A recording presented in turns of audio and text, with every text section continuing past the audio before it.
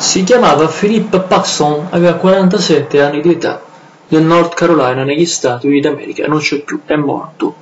Dopo un terribile incidente stradale, guidava un'automobile, è precipitata l'automobile da un ponte che era crollato, stava seguendo le indicazioni che Google Maps gli aveva fornito. A volte Google Maps, possiamo dirlo, a mio avviso, secondo la mia opinione, non è aggiornato.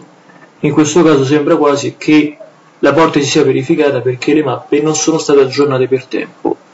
E adesso la famiglia cerca spiegazioni e ha deciso di fare guerra aperta, o meglio di denunciare Google, il re del web per eccellenza. Pensate che Google rientra in sé e ha un navigatore Google Maps, ha YouTube, la piattaforma che sto utilizzando, ha eh, Maps, ripeto, ha Gmail, un servizio anche di posta elettronica, ha un suo eh, browser che è Chrome, e ha una marea di servizi. Tutto fa parte di Google. Quindi è un, è un mondo vero, veramente a sé stante. Va bene? Infatti la famiglia avrebbe ritenuto responsabile proprio Google, la piattaforma mi, di cui mi servo ogni giorno per fare i miei video, perché secondo proprio la famiglia in questione non aveva aggiornato le mappe e quindi l'uomo è finito in questa condizione, in questo luogo, cadendo giù, senza che sia stato segnato niente, perché su Google Maps non figurava.